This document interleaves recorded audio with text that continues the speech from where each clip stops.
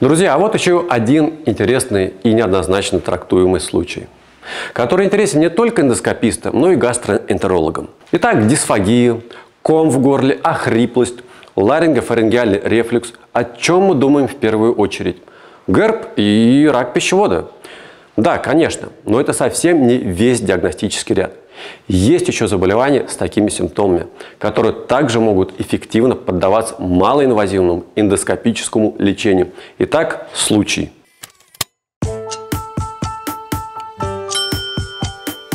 Добрый день, коллеги! Хочу вам предложить интересную тему для плейлиста эндоскописта. Инлит патч. Что это?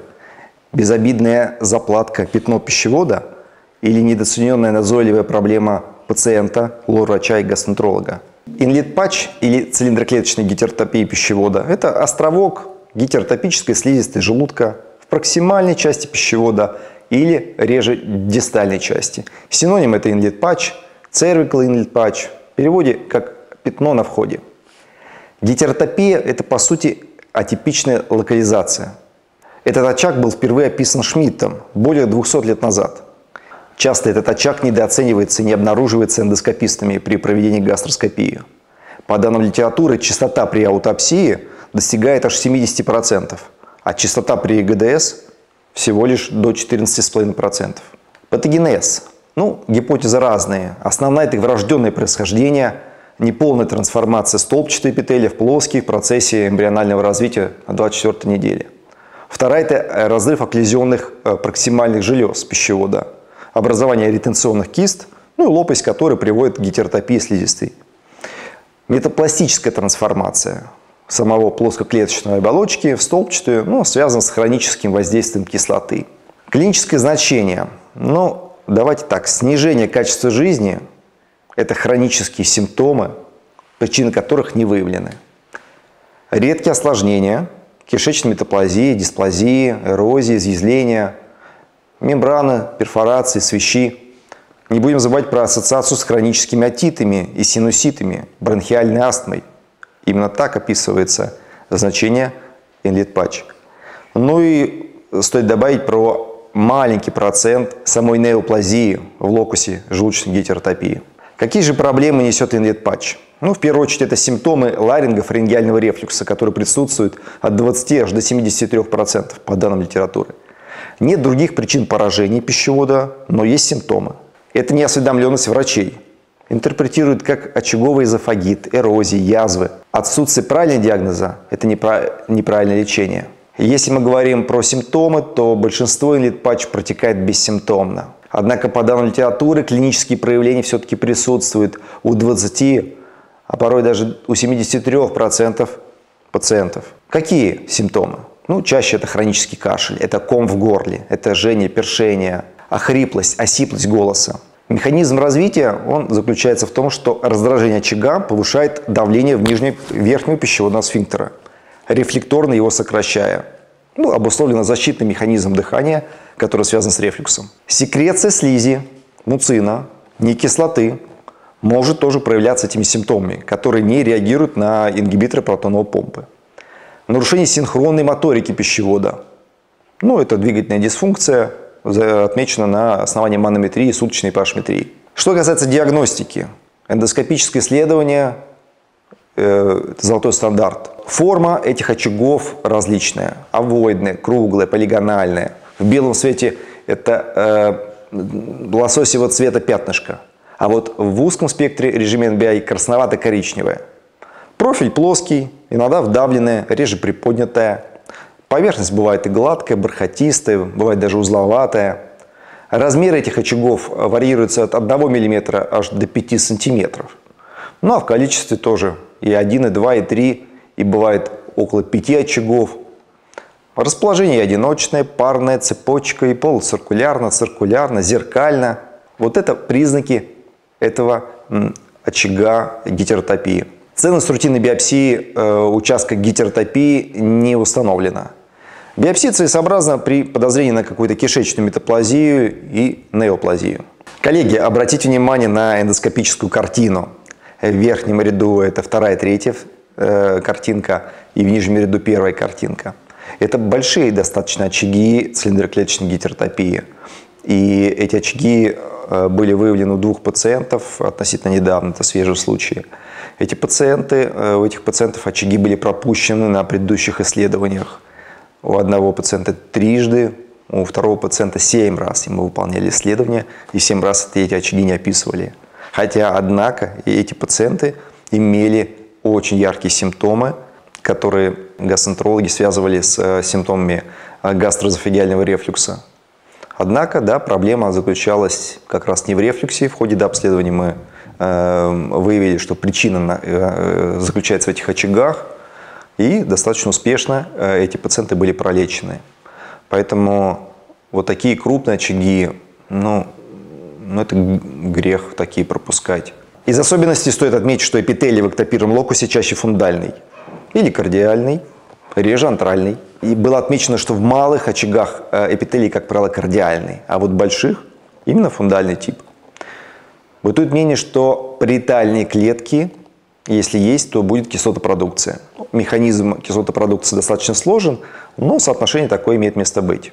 Стоит отметить, что не только кислотопродукция, но и продукция слизи может вызывать симптомы могут колонизироваться хеликобактер пилори аж до 82%. Стоит отметить, что размер пятна коррелирует с тяжестью симптомов. Возможно увеличение секреции кислоты. А, как же повысить выявляемость инлет патч? Ну, ошибок много. Это быстрое ведение излечения эндоскопов. Соответственно, необходимо увеличить время осмотра на выходе. Осмотр в белом свете возможно пропуск этих очагов. А вот осмотр в узкоспектральном режиме, режиме NBI, позволяет ну, чаще и быстрее обнаружить эти очаги. По данным литературы, NBI увеличивает скорость обнаружения в три раза. Ну и, соответственно, еще улучшает выявление поражений 54 против 17%. При неясной структуре очага важно, конечно, применение хромоскопии. Что касается осмотра без седации или в условиях медикаментозной седации, то никакой корреляции обнаружения очагов в условиях седации не обнаружено. Однако мы с вами понимаем, что порой пациент, осмотреть пациента э, без условий седации ну, невозможно. Он нам не даст увидеть, лицезреть, адекватно оценить не только размеры, но и структуру, какие-то изменения этих, э, э, этого очага. Особенности э, заключаются в том, что пищевод интубируется вслепую, сокращается верхний пищеводный сфинктер. Поэтому осмотр с дистальным колпачком, ну, наверное, будет предпочтительней. Мягкий колпачок облегчает и проведение эндоскопа, и обеспечивает оптимальное расстояние обзора слизистой. Итак, резюмируя, увеличение времени осмотра на выходе, осмотр в узкоспектральном режиме, применение хромоскопии, осмотр в условиях внутривенной седации – осмотр с дистальным колпачком. Э, все эти меры позволяют достичь высокой выявляемости, которая, кстати, да, частота выявления является как критерием качества выполнения эндоскопии верхних отделов. Что касается тактики этих очагов, нет симптомов, не нуждается в лечении. Есть симптомы, подтверждаем отсутствие гастроэзофагиальной рефлюксной болезни. PH-импедансметрия на помощь. Исключение функциональных расстройств пищевода – Манометрии высокого разрешения на помощь. Лечение. Стандартизированных схем лечения не существует. Консервативная терапия принята для купирования симптомов. Порой приходится выполнять и оперативное лечение. Это хирургический метод лечения. Обычно они используются при развитии инвазивной аденокарциномы. Редко такое проявление, но бывает. Эндоскопическая диссекция, резекция под слизистым слоем ну, при, при развитии дисплазии и неоплазии в очагах. При формировании мембраны и структур верхней трети пищевода используется э, эндоскопическое бужирование. Ну и как основные методы эрадикации очагов с купированием симптоматики – это аргоноплазменная коагуляция и радиочастотная абляция. Стоит отметить, что нет рекомендаций по наблюдению. Э, по консервативной терапии это терапия step-down, step-up, ингибиторов протонной помпы от 4 до 8 недель, реже до 6 месяцев, с последующим назначением по требованию блокаторов H2 рецепторов. Ну или при непереносимости ингибиторов протоновой помпы они также назначаются. В случае беспокойства пациента подключаются анксиолитики в прокинетики. Стоит отметить, что ингибиторы э, протоновой помпы улучшают симптомы, но не доказано в клинических исследованиях. Урязанный экспресс-тест с участком гетеротопии возможен, если тест положительный, эрадикация хеликобактер. Хеликобактер, кстати, наблюдался в слизистой фундального типа в 81%.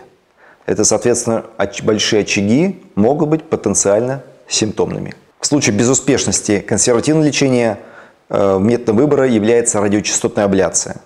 Показания – это выраженные симптомы и резистентность к ингибитору протоновой помпы. Отмечено, что в 80%, 80 полная макроскопическая и гистологическая радикация после двух сеансов радиочастотной абляции с улучшением качества жизни и исчезновением симптоматики в течение двух лет. Преимущество перед аргоноплазменной коагуляцией – это глубина абляции равномерна. Снижается риск структур, перфораций, ну и похороненных желез, которые отмечались у 40% с пищеводом Баррета, ну, по аналогии, да, леченных с помощью аргоноплазменной коагуляции. Поэтому радиочастотная абляция, конечно, является сейчас наиболее эффективной и Э, востребованной. Ну, подведем выводы. Наличие симптомов э, ларингофрингиального рефлюкса, это хронический кашель, ощущение кома в горле, служит показанием к проведению исследования ГДС с целью исключения очага гетеротопии. Соблюдение методологии осмотра при эндоскопическом исследовании позволяет своевременно выявлять очаги гетеротопии. Тщательный осмотр, проксимальной части в первую очередь, с использованием высокого разрешения в режимах NBI увеличение позволяет дифференцировать очаги гипертопии от воспалительных заболеваний и неоплазии. Комплексный междисциплинарный подход и детальный анализ очага гипертопии определяют эффективный метод лечения и повышают качество жизни пациентов. Вот так.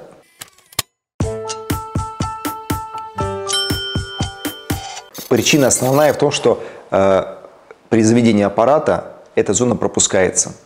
Пациенту просит, что сделать? Глоток, аппарат заводится, и этот очаг просто пропускается, проваливается на сантиметр, э, доктор не видит.